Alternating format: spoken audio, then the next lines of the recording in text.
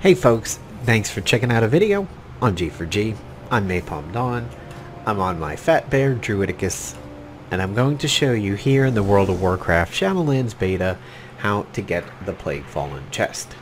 So the Plaguefallen chest is a chest that's way up there on the Bony Parapet. That's up there. Now, if you have the Revendreth Sparkly Vampire Twilight Teleport, it's possible you might be able to click your way up there through the teleport, but I am Maldraxxi, so unfortunately there is nothing that I can do about that.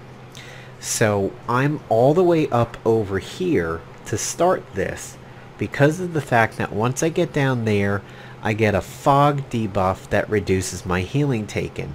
If I was to do this right at the tunnel entrance, the debuff that is going out on the Scunner platform, which affects haste, will also be on me, thereby totally screwing up my ability to heal. So what I'm going to do to start this off is I'm going to Fleshcraft, which is going to give me a nice little shield. I'm going to get some hots rolling on me, go into deer form, and jump right into the goo, bear form. Now this is the healing reduction caustic fog. This concentrated plague is what I need to live through. If I was to go any further, I would be affected by the Scunner fog, which would reduce my haste.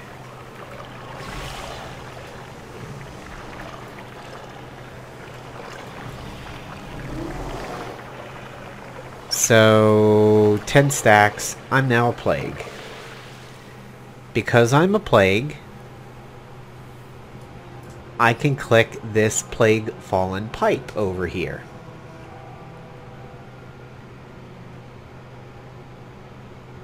Click it.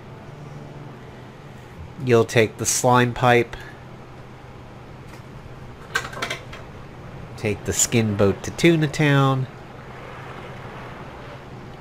We'll jump across. And here is the Plaguefallen chest.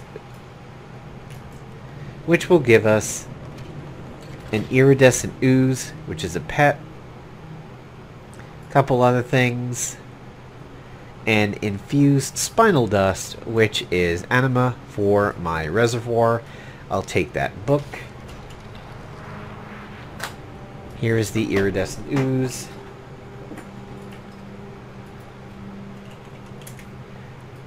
And there he is. The iridescent ooze with creeping ooze, sludge belch, glop, slime trail, creeping fungus, and consume corpse. So, thank you for checking out this video on G4G. Hope you enjoyed it. See you in World of Warcraft Shadowlands.